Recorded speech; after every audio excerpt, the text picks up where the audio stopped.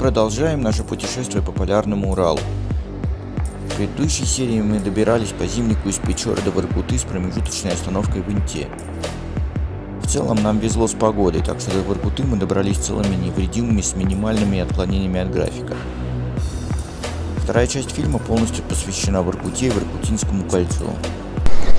Театр, который сгорел. О, красиво какой. Дворец культуры шахтеров, самый центр сердца города Воркуты. Теперь главное не застрять.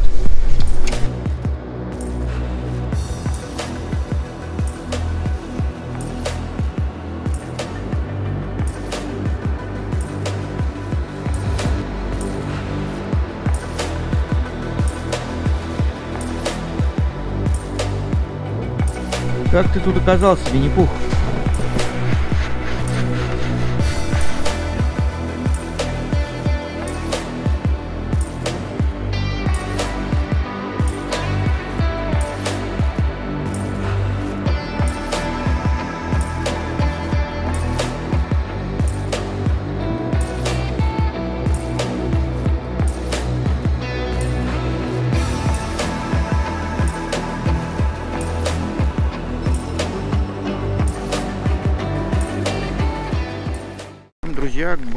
Воркута нас встречает морозным солнечным утром.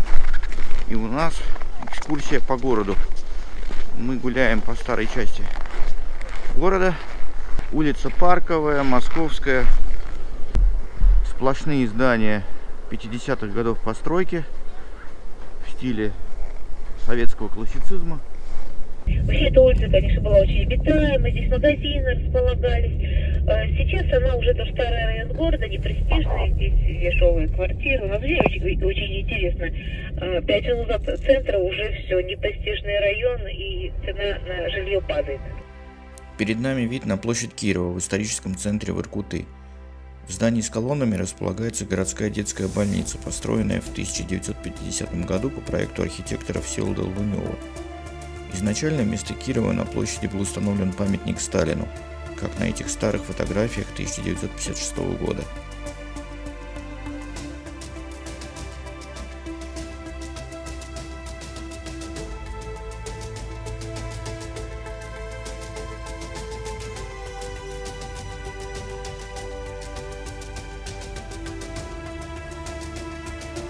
Ее строительство было заложено в 1937 году, в 1941 году построено. Вот. Это здание историческое. Архитектор этого здания э, Вячеслав Муторжевский, очень знаменитый архитектор во всем мире. Он был специалист по высоткам, он строил высотки в США, проектировал полностью территорию ВДНХ, и по поводу это как раз ВДНХ у него возникли споры с Сталиным, ну в итоге он попал в наши лагеря. Продолжаем гулять по центру Воркуты. Здесь вот площадь центральная. Такой здесь классический прям ансамбль. Архитектура 50-х. Это считается вот э, третий центр Воркуты. Третий и нынешний а, основной центр. А Потому что от этой улицы сейчас э, слева от меня начинается улица Ленина. И она как бы насквозь проходит через город, э, через центральную площадь.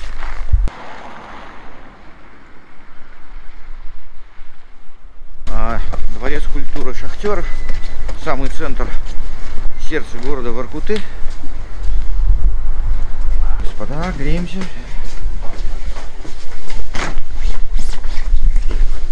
Сейчас направо повернем. Да, друзья. Я сейчас сижу в мраморном зале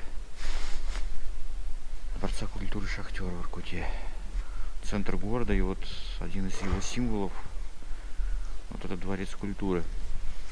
Совершенно такое бесподобное панно на потолке. Роспись. Люстра. Шикарное совершенно место. Монументальный дворец культуры шахтеров и строителей был возведен в 1959 году к 25-летию Печорского угольного бассейна. По проекту Всеволода Лунева, главного архитектора Воркуты 50-х годов прошлого века. На крыше дворца установлена фигура Родины Матери, символизирующая победу на фронте. По сторонам от главного входа установлены бронзовые скульптурные группы, олицетворяющие шахтеров и геологов, первооткрывателей Печорского угольного бассейна. Поговаривают также, что в правой скульптурной группе запечатлен сам товарищ Сталин в одежде горняка. Также примечательно, что в левой скульптурной группе есть фигура девушки-геолога. Почему изобразили девушку? Александр Чернов, мы подъедем позже к его памятнику, он а, э, является первооткрывателем всего, всех углей вообще на реке Печоре, то есть Печорского угольного бассейна. И он впервые в мире открыл женские э, геологические курсы. Вот впервые в мире, благодаря ему, э, вот у нас геологи, женщины вышли в 30-е годы, очень много было женщин-геологов, руководителей геологических партий. Фарсонафьева, Сошкина, это вот такие знаменитые э, ученицы геологини, которые потом руководили партиями геологов. Похоже. Это театр, который сгорел. Красиво какой. Это вот там, где сейчас Кера стоит. Вот то, Университет деревянной шашки. то же самое, А. только стоит Сталин. Центр города, 50-е годы, поэтому вот военные парады проходили. А вот это здание, это то, что Детская сохранилось? больница. А, детская больница, больница. Киров стоит. Да, да, да, да, вот это. Да, то, а это Сталин, в данный момент Сталин. Ансамбль площади мира был разработан архитекторами Райкиным, Савчиным, Ганскевичем под руководством Всеволода Лунева. Великой называл Воркуту в своих воспоминаниях Лунев, сделавший город настоящей жемчужиной Заполярья.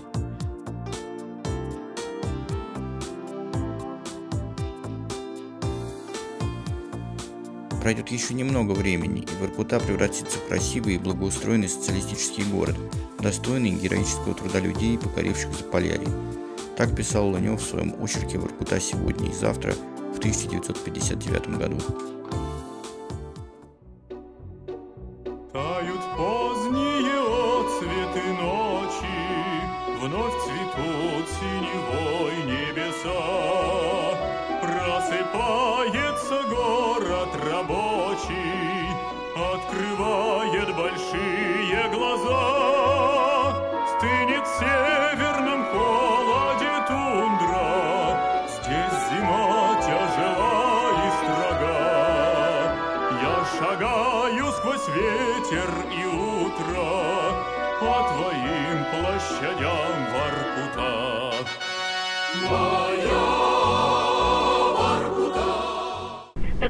Внимание, слева здание, бывшее здание бассейна, это уже Вячеслав Лунев. Самое последнее его здание. Оно сейчас не функционирует. Вторая центральная площадь Воркуты. Здесь находится горный техникум.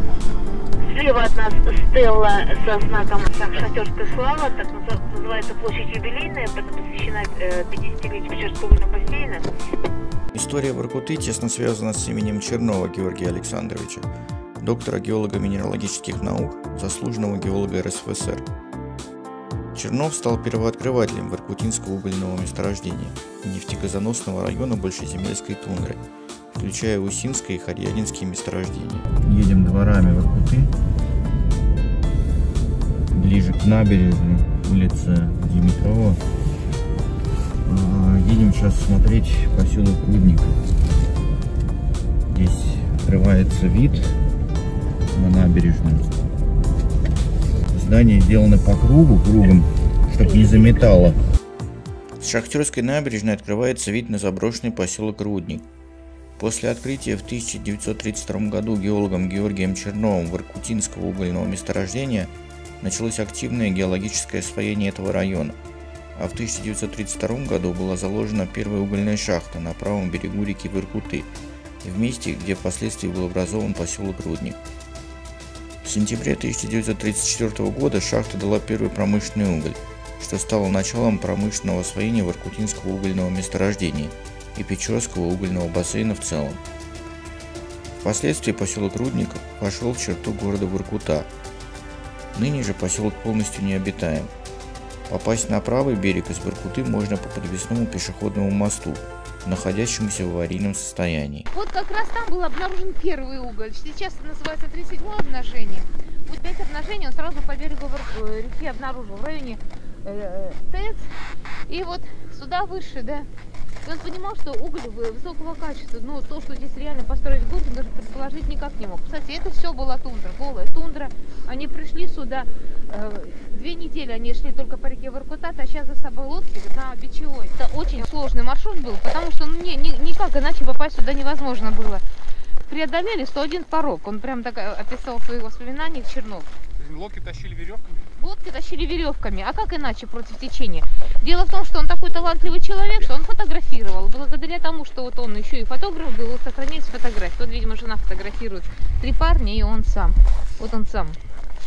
Он описывает в своих воспоминаниях, как тяжело парней выгонять в ледяную воду, чтобы вручную разбирать пороги. Камни постоянно встречались. Ага, то есть она не глубокая такая, да? Можно по ней Она идти. была породище, сейчас она глубокая, потому что ее подпирает э, плотина. Ага. А раньше это была просто вот такая вот э, порожистая река, да, берега высокие и очень много камней.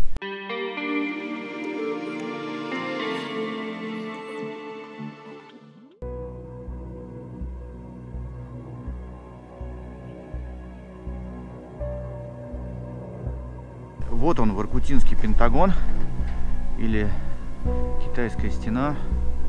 Легендарный дом на Димитрова 5Б. А, Огромный дом, три подъезда. А, Дом, насколько я понимаю, насчитывает 300 квартир. Из них сейчас, дай бог, обитаемых 50. Вот мы сейчас побывали в этом доме и покажем вам, как там живется и какая там обстановка.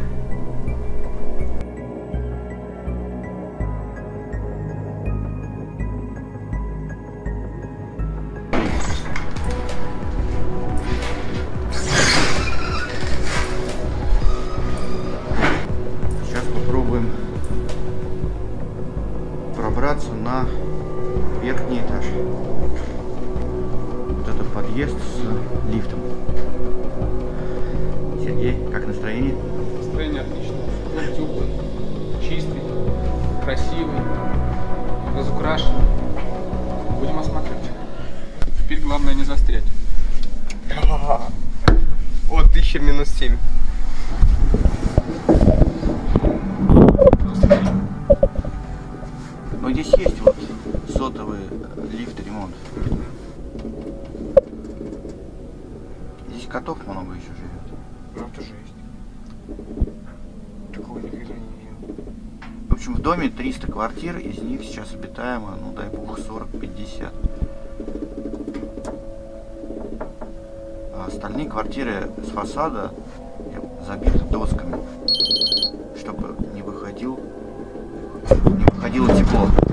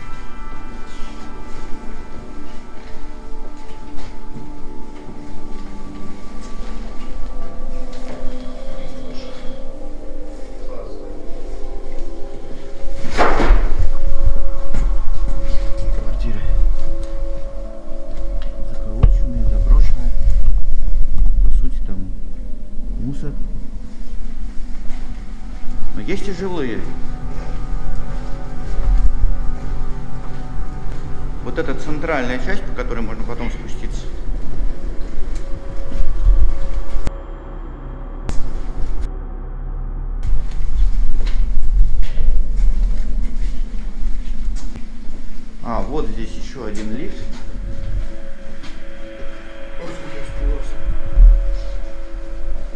Здесь вообще света нет в этом коридоре. То есть тут жилых квартир не осталось. Ну, это, так сказать, э, не парадная Воркута. Смотри, монтажку все просто. И, и прям баллон тут.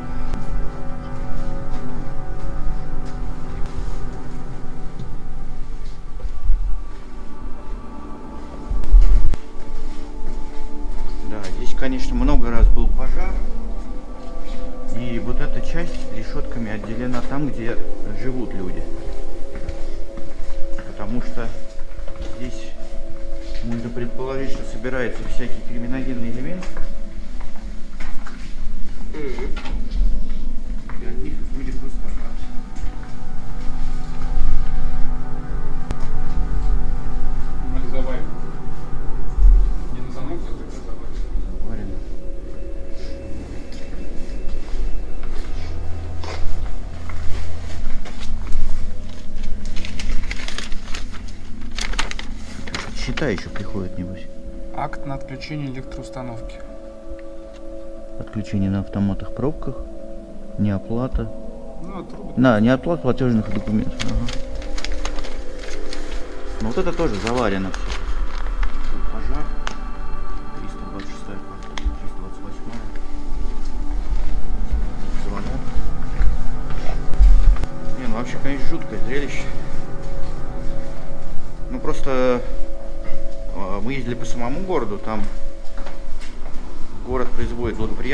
Впечатление. Вот решили зайти в этот дом. Это вот советский старый лифт, который, Сама кабина здесь стоит. который сгорел, по-моему, да? Сама кабина тут? Нет, кабина тут, и она не, не, не горела.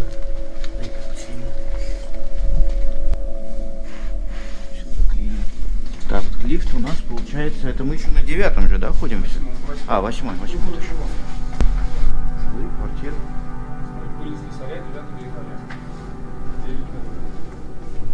Их уже нет. Здесь люди живут. Вот такой вот черный потолок. Здесь видно горела проводка. Были пожары. В общем, как этот дом еще уцелел, непонятно. Причем я бы не сказал, что здесь холодно. То есть здесь тепло и забиты окна. За этим более-менее следят. Здесь батареи, по крайней мере, не горячий.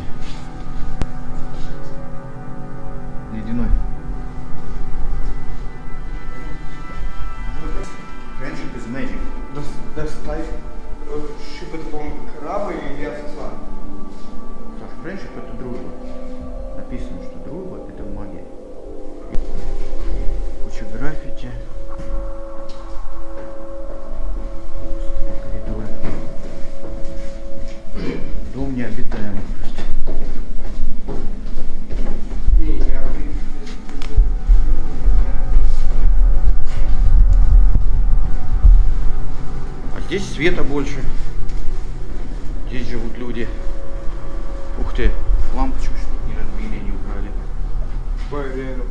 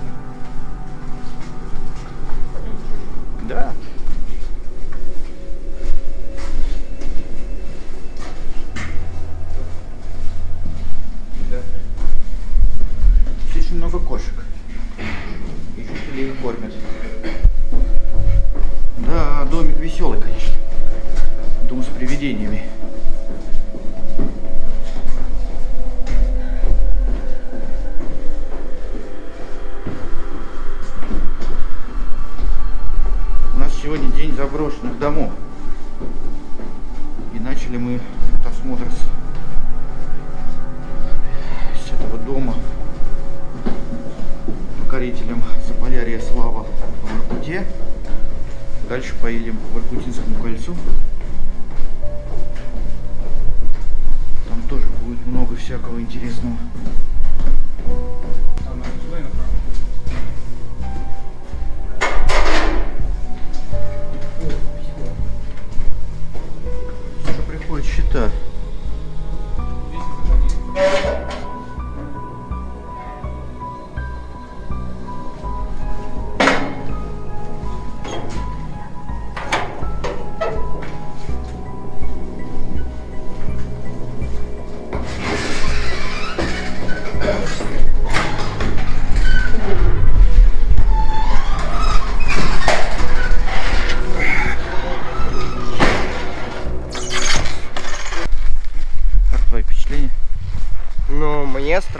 Было реально.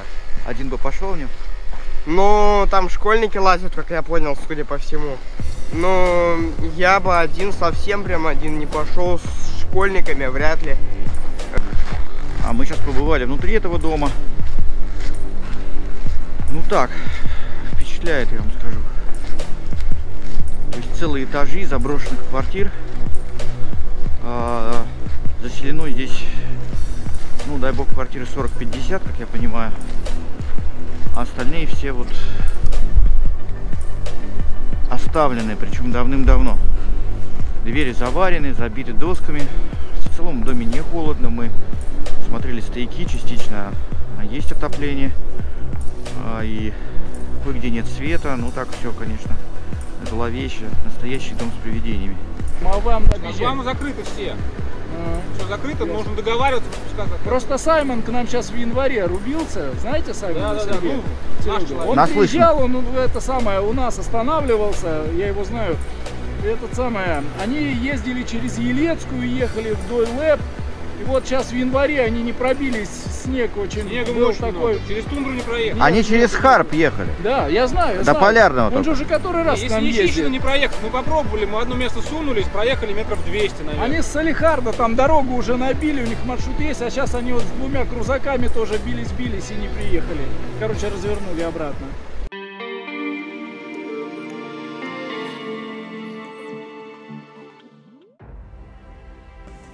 Воркутинское кольцо представляет собой кольцевую автодорогу протяженностью около 50 километров, соединяющую Воркуту с шахтерскими поселками, спутниками и шахтами. Поселки также соединяет железная дорога, предназначенная для транспортировки угля. Вся прилегающая к Воркуте шахтерская инфраструктура образовалась в советское время в процессе освоения Воркутинского геолого-промышленного района Печорского угольного бассейна.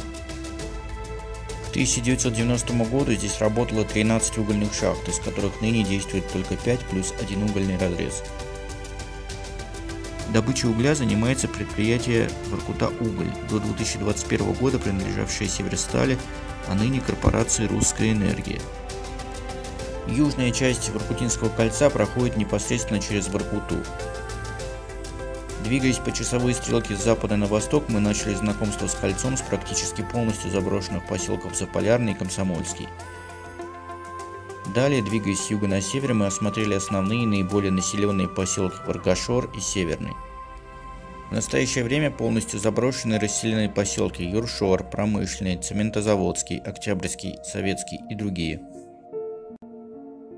Поселок Заполярный был образован в 1955 году в связи со строительством шахты номер 27 Заполярная.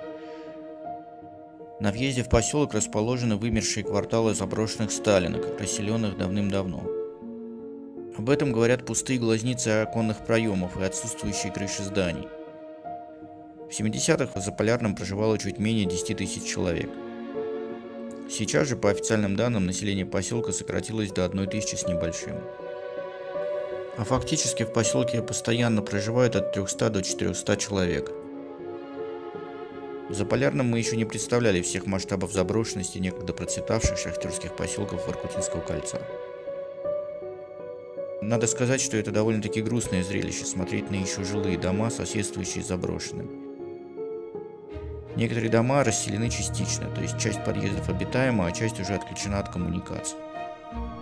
Это хорошо заметно по забитым окнам, замороженным стенам, свидетельствующим об отсутствии отопления.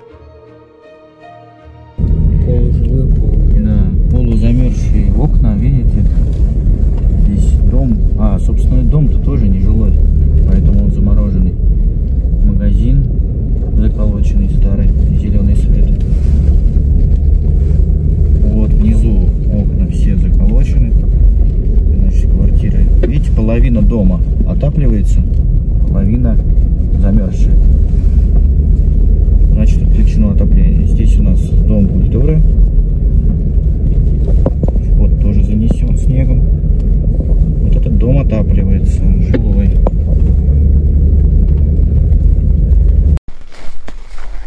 Ну вот даже занавески видны. А там мужик какие-то доски выкидывал прям. Ну, народ немножко подразбирает здесь. Не могу сказать, что мародерствует. Скорее выживает. Здесь все-таки остались деревяшки всякие, которые можно использовать для растопки, для всего хозяйства. Могу понять этих людей,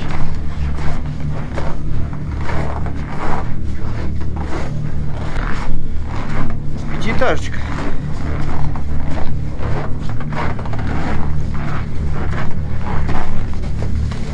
Отопление срезано. Как ты тут оказался, Винни-Пух? Отдел кадров какой-то. И медведя больше всего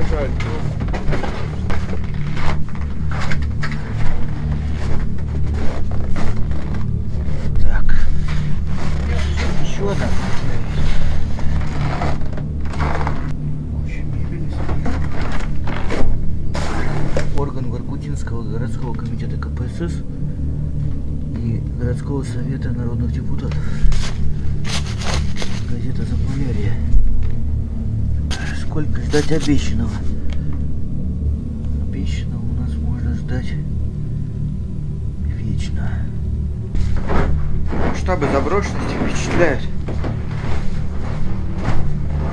Это мы только зашли в один дом, посмотрели две квартиры. Дождались уже до того, что все превратилось в руины.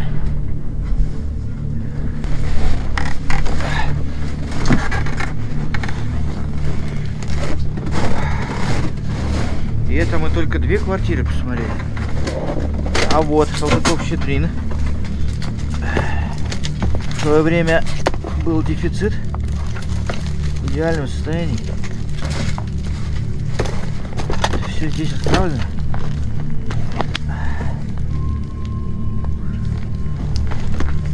Все это стало мусором.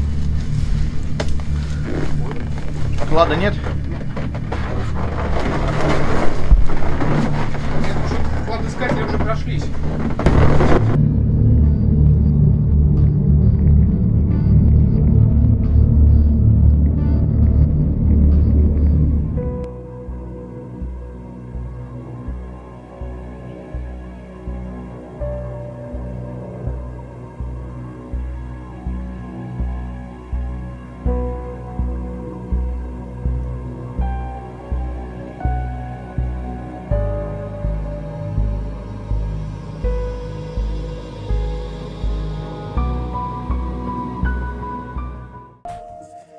Поселок Комсомольский был образован в 1949 году и первоначально обслуживал три шахты, которые в 1976 году объединили в одну, назвав ее Комсомольская. В конце 80-х в поселке проживало до 14 тысяч жителей. Существовал даже проект объединения Комсомольского с более крупным поселком Варгашор в город Комсомольск. Однако из-за закрытия шахты программы управляемого сжатия в иркутинской агломерации этим планом не суждено было свершиться. Сейчас, по неофициальным данным, в поселке проживает 40-60 человек. Осталось считанное количество домов, в которых есть еще жилые квартиры. Оставшаяся часть поселка постепенно разрушается и приходит в упадок. В течение ближайшего времени Комсомольский планируется окончательно расселить, причем шахта Комсомольская продолжит действовать. Сейчас ее в основном обслуживает поселок Варгашор. Поселок Варгашор. Здесь знаменитый памятник углю. Рядом спорткомплекс.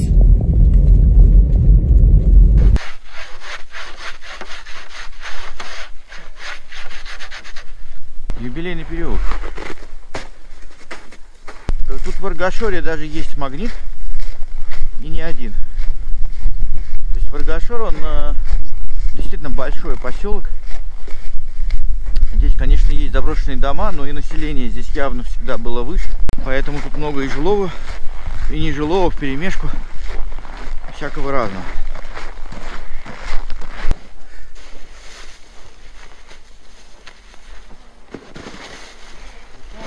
Ну что там? Музей, музей завален, видишь. А там жилой подъезд. Воркутинский музейно-выставочный центр. Удивлен хорошей сохранностью здесь заброшенных домов.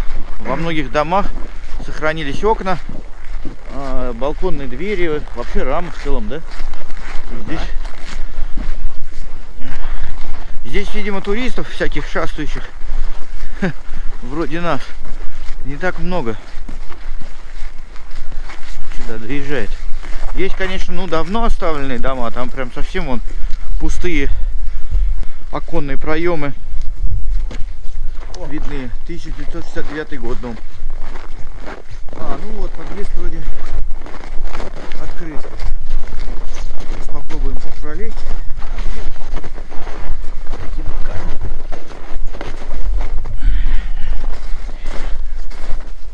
Так, здесь снег полно прям. Снегу так много, что он заносит подъезд. Вот подъезд. Вот так все занесено. Сейчас слазим.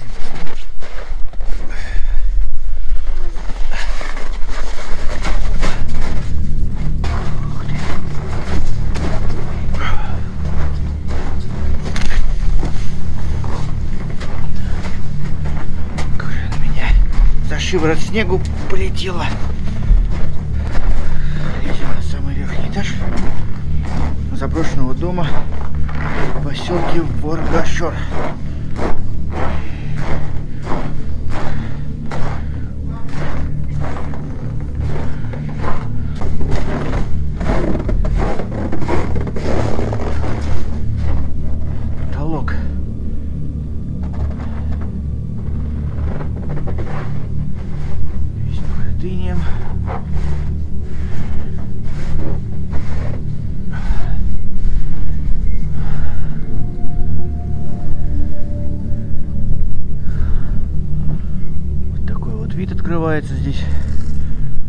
Поселок из окна заброшенного дома.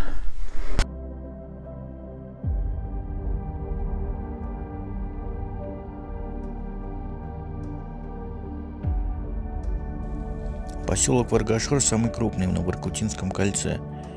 Сейчас в нем проживает 10,5 тысяч человек, в то время как перед распадом СССР было 25 тысяч. Слово Варгашор в переводе с языка коми означает ручей в оленей тропы. Несмотря на то, что Варгашор и самый крупный на кольце, он не самый старый. Поселок был основан в 1964 году, а наиболее сильно развиваться начал после открытия в 1975 году шахты Варгашорская, которая действует и поныне. Многие дома в поселке обитаемы лишь частично. Например, какой-то этаж обитаем, а остальные квартиры заколочены и отключены от коммуникаций.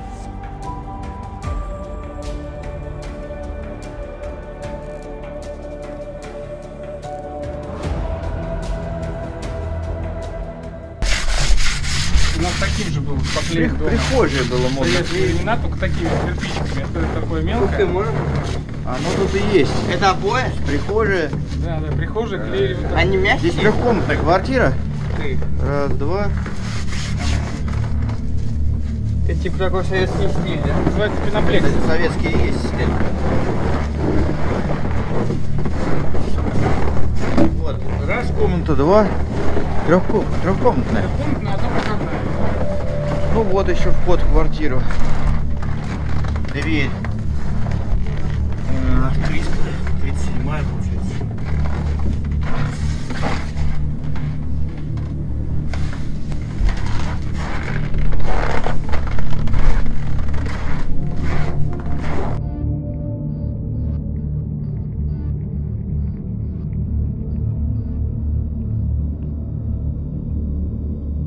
Выглядит дом, наполовину заселенный, наполовину вымороженный.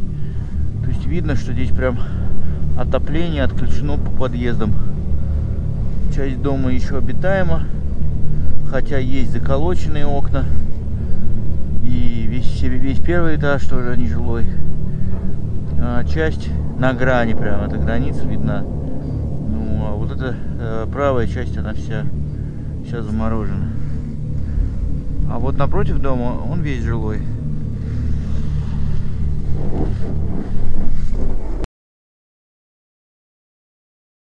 В В 70-е годы население Воркутинского кольца вместе с Воркутой достигало 300 тысяч человек. В 90-е нулевые Воркутинское кольцо стремительно пустело из-за закрытия шахт по причине структурного кризиса угледобывающей отрасли в нашей стране. Сейчас население городского округа Воркута насчитывает 68,5 тысяч человек, из которых 80% сосредоточено в Воркуте. Остальные 20% приходятся на жителей двух наиболее крупных поселков Воркутинского кольца – Варгашор и Северный, а также совсем мало населенные Заполярный и Комсомольский. Расселение воркутинских поселков ведется на базе программы ликвидации ветхого жилья с последовательным переселением людей в Воркуту. То есть властями проводится целенаправленное пространственное сжатие прилегающей к городу жилищной инфраструктуры. О текущих результатах расселения, уплотнения, сжатия, как все это ни назови, красноречиво свидетельствуют эти кадры, наглядно иллюстрирующие масштабы социальных проблем, стоящих перед властями Воркуты и других северных регионов нашей страны.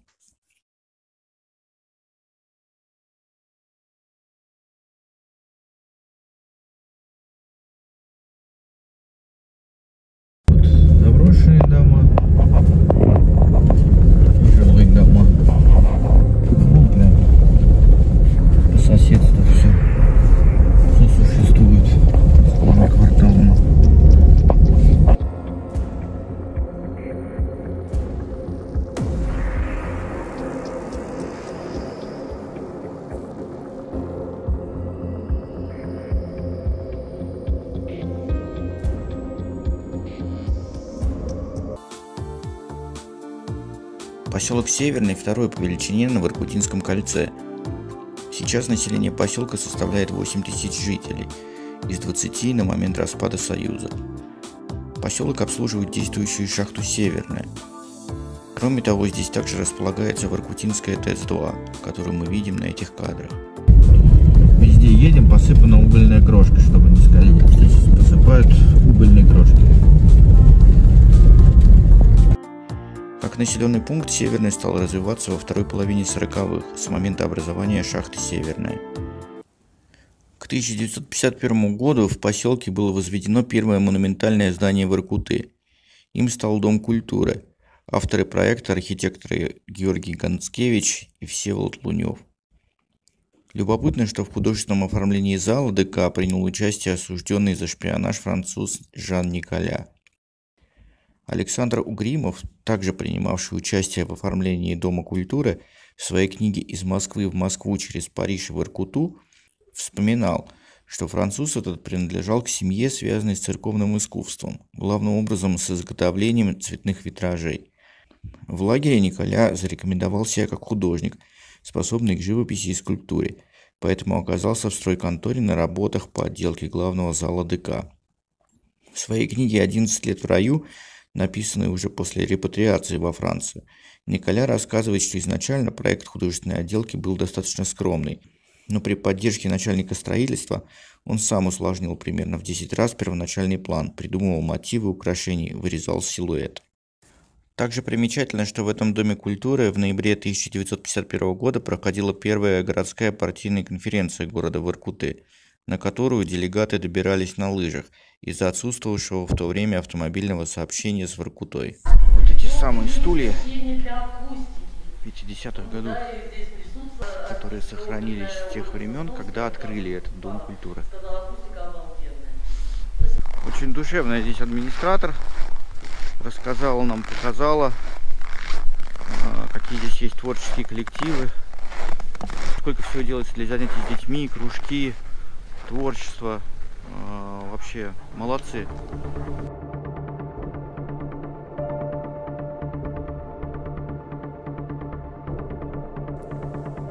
В следующей серии мы расскажем о наших приключениях по дороге на Карское море. Мы побываем на побережье Северного Ледовитого океана, а также узнаем, кто такой Минисей Пом и в честь кого назван самый северный горный массив Полярного Урала – Константинов камень.